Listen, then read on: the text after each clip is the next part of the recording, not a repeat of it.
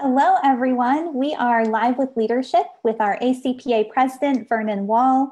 Today, we're discussing the new strategic plan for the association to lead and inspire the higher education and student affairs community as we approach our celebration of our 100th anniversary in 2024. My name is Angela Hoffman Cooper, and I use she, her, and hers pronouns. I'm the Director of Professional Development in the International Office with ACPA College Student Educators International. It's great to have you here with us today. We would like to begin with a land acknowledgement.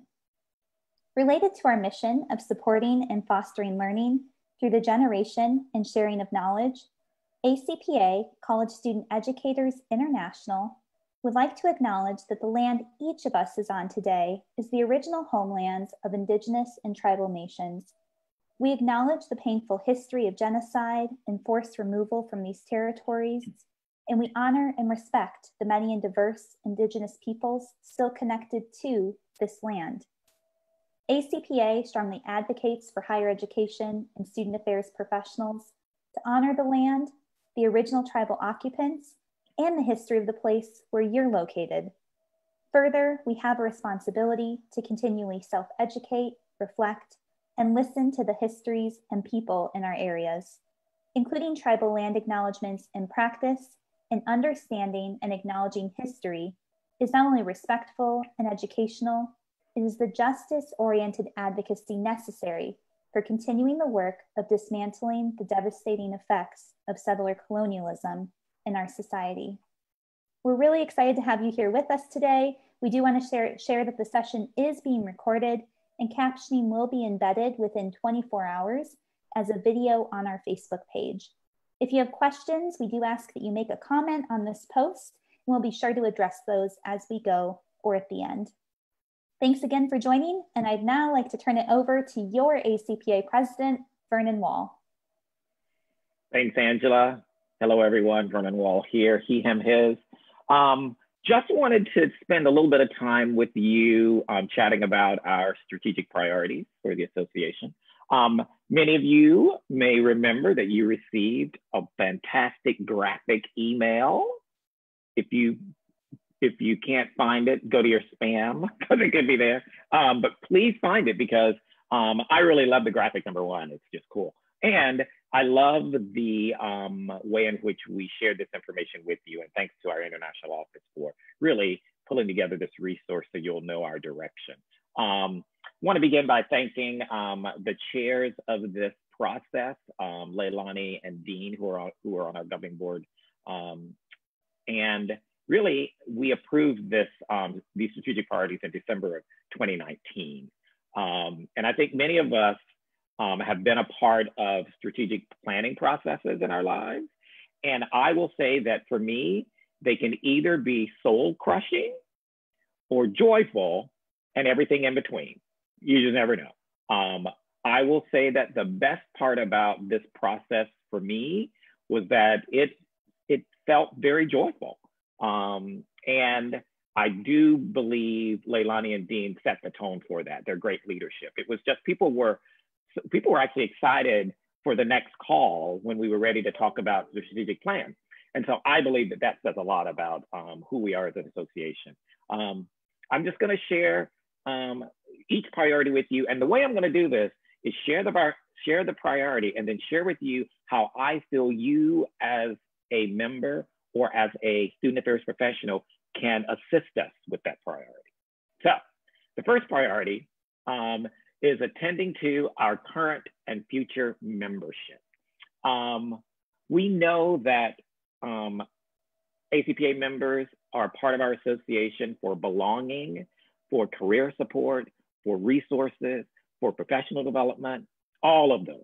And we want to make sure that we attend to that um, in whatever way we can. We we need your help in terms of member recruitment. So anytime that you know of folks who aren't ACPA members, forward membership membership information to them and have them join us. Um, also, too, we're rolling out um, a new institutional membership. I'm calling it the super membership, um, which you'll be able to find online, but we also have our institutional membership. I know that during this time um, of limited resources, um, sometimes folks tend to wonder then why, you know, would we be pushing for, for folks to be members of associations during this time? Well, let me tell you that this is actually the perfect time to be a member of an association, mainly because through your membership, you will receive professional development opportunities. And for many of you, your travel budgets have been cut. You've been telling us that you don't have an opportunity to even sometimes visit places and go. So this is the opportunity. You'll be able to get low cost, if not free, professional development opportunities through your ACPA membership. So our goal is to continue to be of support to our current and future membership, really getting a sense for what that looks like as we see our membership shift and change as we move forward. So please, you know, join, renew, recruit. Those are the three things that I want you to consider. The second um, strategic priority is generation and sharing of transformative educational experiences. I can't even begin to talk enough about the great resources that we continue to roll out. People tell us all the time in terms of feedback that the professional development opportunities that we offer through our institute, through our ACPA to Go series, through our um, possibility conversations, the crowdsourcing conversations, you name it. And of course, coming up, the ACPA 21 experience, um, all of that um, it, and we will continue to offer that. I have been amazed at some of the topics that have come across my desk, and I read every ad and, and so excited that our members are stepping up and being a part of all of our mostly virtual experiences now, because that's where we are. So the way you can assist us is number one, attend those, you know, and share those. You know, when your colleagues are looking for um, things, what I typically do is when I get an email that talks about a PDF event, I think about people who could benefit from it. I'm always posting things on my Facebook. Those of you who know me know I do that. Um, but we always we need to do that. We need to attend and we need to share. Um, and we're committed to continuing to provide those experiences for you in creative ways. And if you have a topic and you'd like to be a part of some of these experiences and you want to share information, please reach out to the international office and let us know. We would love to have you join in that way. Um, the third um, priority is um, maintaining and increasing our strength in research and scholarship. It's no, it's, it's no surprise that when folks think about um, research and scholarship in higher education, the very first association people think of is ACPA, and it continues to be that. We continue to, I'm, I'm continuing to be amazed at the amazing scholars and practitioners that we have that step up and really and truly develop um, the Journal for College Student Development about campus developments, also to um, our uh, publications that um, are that we connect with Stylus with. All of these things are tremendous. And so what we're gonna do is we're gonna continue to um, think of new and different ways in which we can engage folks in, in terms of scholarship. We want it to be bold, we want it to be critical, and we want it to be informing practice. I mean, that's what we are in education. We are the leaders when it comes to um, research and scholarship, and we want to continue in that way, and we want to build on it. So the thing that you can do is submit articles. Um, think about you know something that you're passionate about and submit, and, and, and encourage others to submit. Um, and you know, make sure that you anytime that I get an email that is um, a resource around research and scholarship, I always throw it in a, a folder so I'm ready um, when topics come up and I need some um, research in order to, um, or some great scholarship to um, support some of the things that I'm doing. The fourth um, strategic priority is um, association leadership and presence. Now, what's interesting about this priority is I don't believe in 2019 in December when this was passed or when our strategic plan was, was approved, I don't believe we had any thought of what we would be today in higher education, whether it be around COVID 19, whether it be around DACA, whether it be around racial injustice and protest, whether it be around xenophobia, specifically with Asian American students and the COVID 19 pandemic, Black Lives Matter, violence against trans people of color. Um, it, I, I know that it really shows that we are an association that we may have had a minor crystal ball um, that talked a little bit about who we are as an association, and that's who we've always been. But to, to see this priority, association leadership and presence now, in present time, is different for me. Um, it is now more than ever, we have to step up. We have a strategic imperative for racial justice and decolonization. We have to show up differently in higher education with our peers and our colleagues because we need to be the leaders. Um, and so we're talking about that. Um, already, though, leading up to everything that's happened now in 2020, um, Chris Moody um, has been representing ACPA as, a, as our executive director. Um, and when he sits with other association leaders, and we kind of, we jokingly say this, but it's very true that when issues of inclusion, social justice, decolonization, racial inequities, anything comes up around those topics of equity and inclusion, the whole table looks to Chris Moody to say, well, what's ACPA doing? Because they know that we are the association that really and truly has this at the center of who we are. And so we need to take that and continue to build on what Chris has done and continue to share. Here's who we are. Here's how we can be of assistance to you.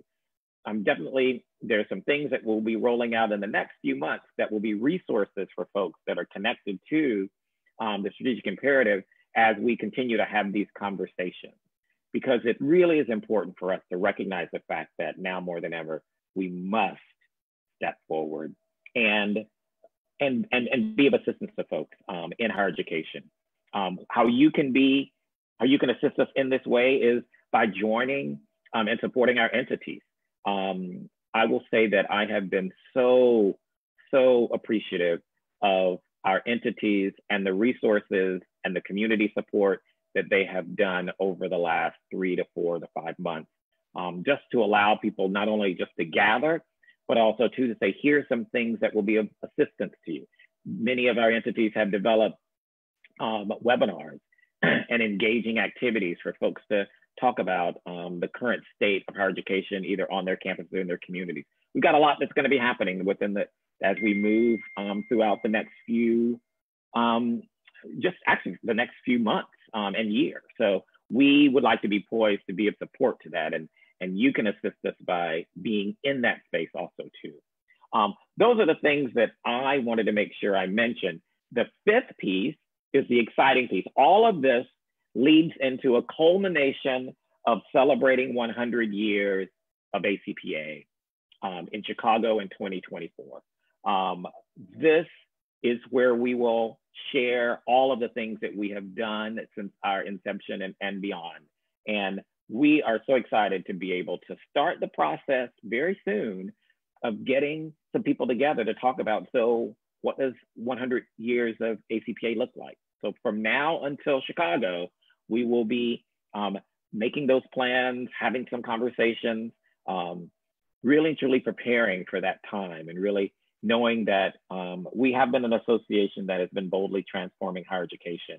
Um, and so we, we want to continue to be that. Now more than ever, that tagline, boldly transforming higher education, really reigns true because we gotta, we gotta really be in these conversations. As you all know on your campuses, things situations, policies, procedures change daily or hourly sometimes. I was talking to a professional on a campus once and said they'd just gotten out of a staff meeting um, and they'd talked about some things that they really wanted to implement as they looked into what would fall um, 2020 look like.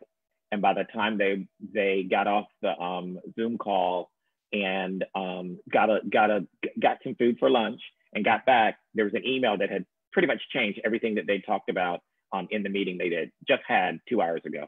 So I know that this is a time where things are continuing to um, really and truly change at a rapid space and at a rapid pace. So we want to be here and be supportive of you in that way.